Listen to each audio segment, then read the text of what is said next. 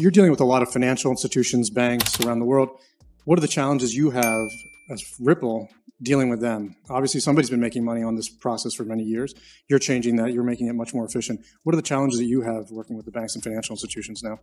Yeah, so like the the the I mean, again, we were like really naive early on, so we thought, listen, Citibank, great, uh, you know, great company to go after. If we get Citibank on Ripple, you get you know one third of all cross border payments on Ripple.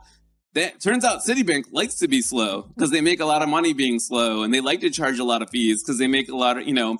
So then we sort of thought like, who who are who's the who's the like the hungry ones and so, you know, we started finding, you know, small uh, providers like, you know, Bexs in Brazil. You may not have heard of them, but they're one of the fastest growing fintechs in Brazil. They're small and scrappy. They want to compete with the big guys.